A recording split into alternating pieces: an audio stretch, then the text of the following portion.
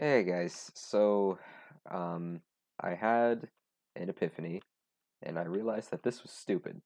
So this is a follow-up video to this video that I did where I used a flying machine to transport items from a minecart with the chest all the way over here and then I'd use some fancy piston things to push rails in and out of the way and it'd all go down in these high and it was very complicated. You could watch that video if you want.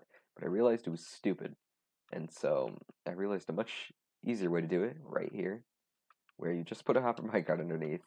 But and I tried to do that over here, but I realized it wasn't so simple because this slime block underneath would attach to the rail that the minecart was sitting on and just start dragging it around. And I couldn't I couldn't put the minecart there without a rail because then it wouldn't pick up any items. So I had a predicament, and so I made this. Actually, I made this beforehand, and then I realized the hopper minecart thing. But then I tried it, and it still didn't work and I didn't feel like thinking about it too much, so I made the video anyway. Yeah. Um, but today I put a little more, a little bit more thought into it, and I moved the thing around so that it, there weren't any sticky blocks underneath this minecart.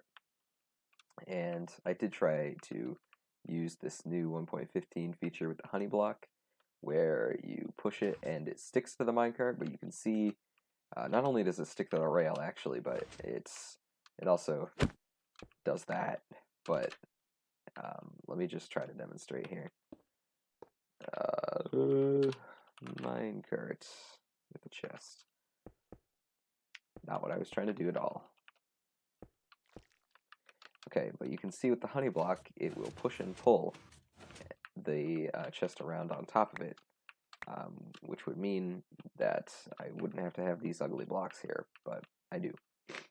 So, yeah. Um, and the fact that it does uh, this is really weird, but I think it has something to do with the fact that the honey blocks hitbox is slightly smaller than an actual block. So You can see that I kind of fall down a bit when I get off this piston, um, which is just wonderful. So this is the final design. This is what I came up with. Um, so let's just grab some items. Let's test it out. Let's put it in here. Just let's just throw them in. Press the button. Make it go. Off it goes. There it go. There we go.